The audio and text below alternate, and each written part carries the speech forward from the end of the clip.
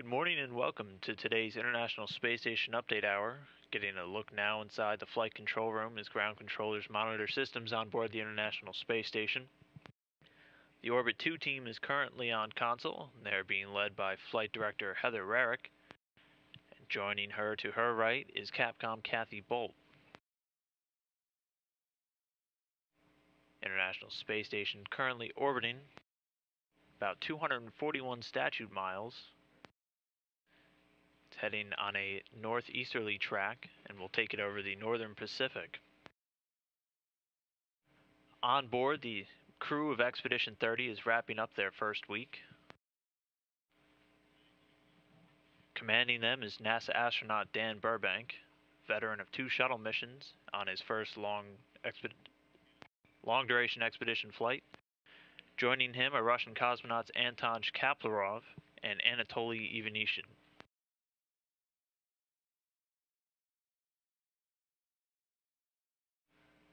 Crew is wrapping up a busy week, which saw the departure of their Expedition 29 crew- crewmates earlier this week. This was kicked off on Sunday, which saw a change of command ceremony between NASA astronauts Dan Burbank and Mike Fossum, as Fossum formally handed off command of the International Space Station to his astronaut counterpart.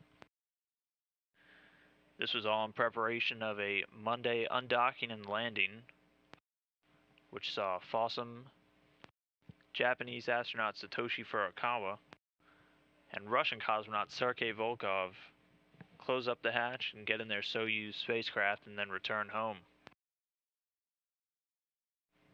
Also on Monday, Fossum and Furukawa, in addition to their deorbit prep work, stored some medical samples on board the spacecraft for their return home while Volkov, who was the commander of that Soyuz spacecraft, did some stowage closeout activities, some photography of the external surface of the spacecraft for ground controllers, and then performed all the system activations and com checks. Here you can see the spacecraft camera as it prepares to undock from the space station. Command was given to undock about three minutes before physical separation as a series of hooks and latches retracted, and then springs on the docking mechanism in the spacecraft pushed it away. While that was going on, Dan Burbank did some biology experiment work and then maintenance on the water recovery system on board the station. Anton Shkaplerov did some maintenance work on the Vozdukh emergency valves, which is the carbon dioxide scrubber on board the station, and transferred some experiment items to the Soyuz. Helping him on those experiment transfers were Anatoly Ivanishin. Here you can see some footage from the landing site in Kazakhstan. The crew landed at 8:26 p.m. Central Time Monday night, and that was at 8:26 a.m. Kazakhstan time Tuesday morning. You can see them being helped out of their capsule here. Following landing, the crew members went through some standard medical checks before being brought back for a traditional Kazakh welcoming ceremony. And then following this, Fossum and Furukawa got on a NASA jet and headed back to Houston, while Russian cosmonaut Sergei Volkov returned to the Gagarin Cosmonaut Training Center in Star City, Russia.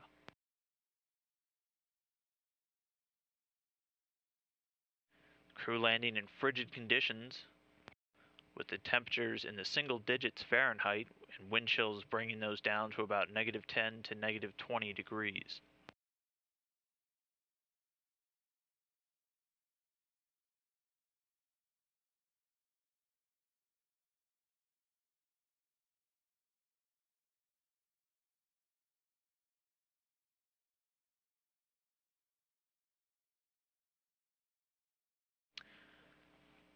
Fossum Furukawa and Volkov's landing brought the International Space Station back to a three crew rotation, and it will continue that way until the launch of the remaining three Expedition 30 crewmates NASA astronaut Don Pettit, Russian cosmonaut Oleg Kononenko, and European Space Agency astronaut André Kuipers launched the space station on December 21st.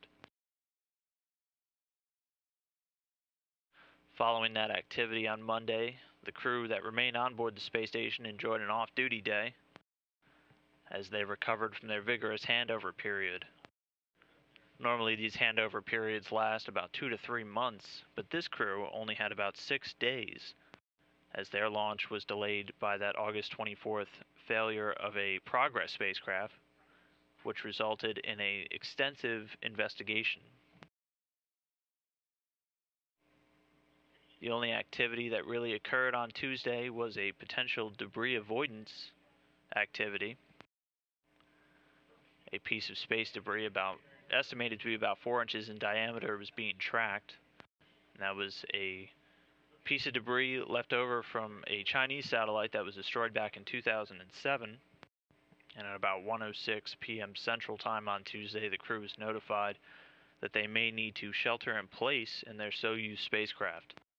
Normally, the station is maneuvered out of the way in a debris avoidance maneuver, but due to the elevation and the short period of time ahead of when the conjunction was predicted to possibly take place, there wasn't enough time.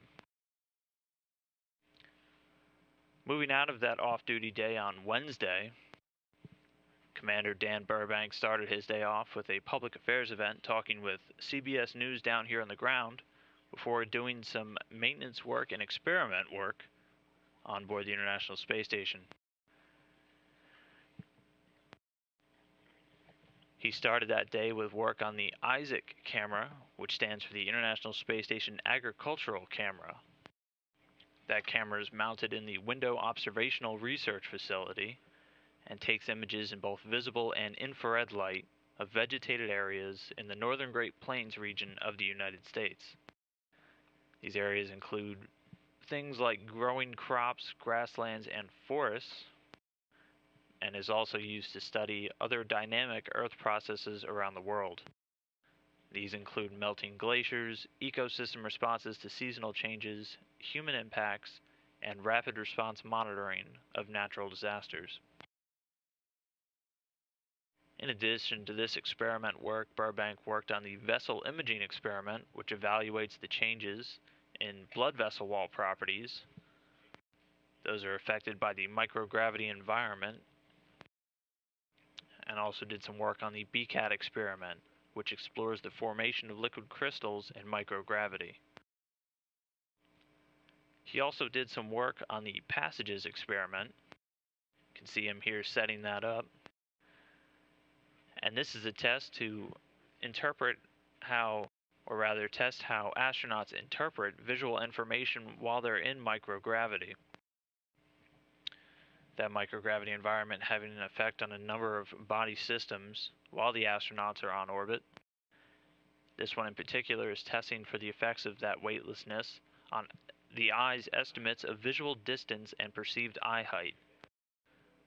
These are important functions that can be used in everyday needs, such as determining the passability of a doorway. You can see him setting this experiment up. It's very similar to a an eye box that you would see at your local eye doctor's. The astronauts then place their face up to the eye holes and it takes a number of readings for controllers on the ground.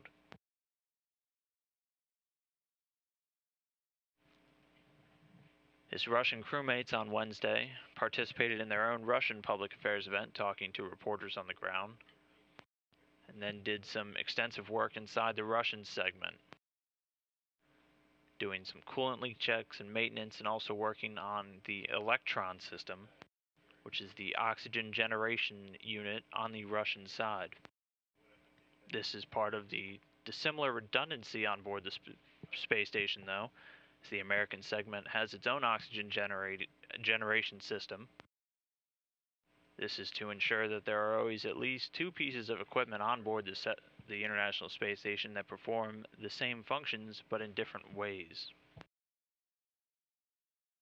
Moving into Thursday, the crew had a day off for the Thanksgiving holiday and enjoyed a special meal that was prepared for them.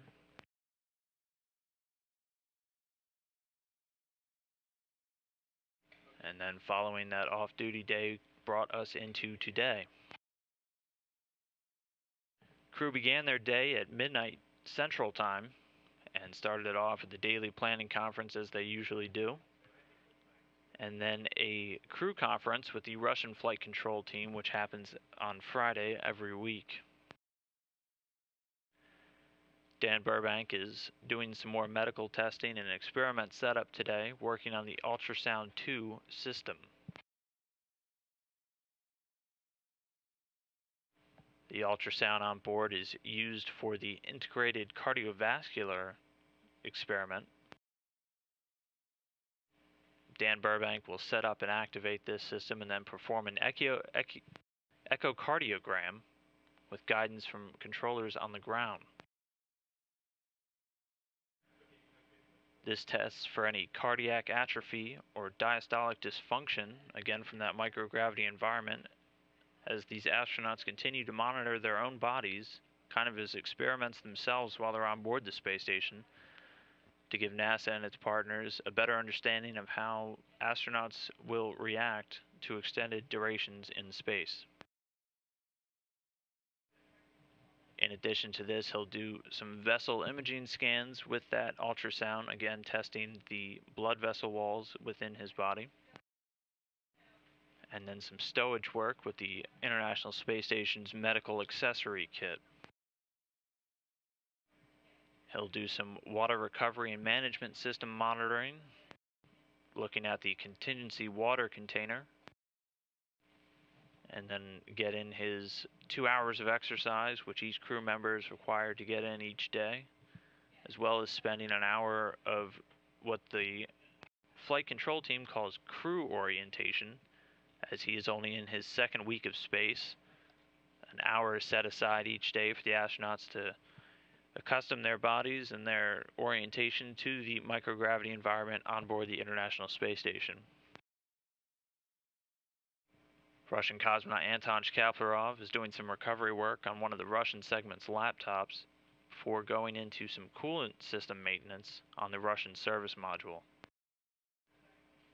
He'll then do some observation and photography test sessions as Earth observations are a major portion of the crew's duties and since the first crews inhabited the International Space Station, they have utilized it to take tens of thousands of images of both natural and man-made structures on Earth. His fellow Russian cosmonaut Anatoly Ivanishin is doing some fluid loop, which is some more coolant work, in the mini research module on the Russian segment, and also doing that crew orientation time and his exercise. At the end of the day, the crew will have another daily planning conference, followed by their weekly flight director and crew conference, and then are scheduled to begin their sleep period at 2:30 p.m. Central Time, rounding out the first week of Expedition 30.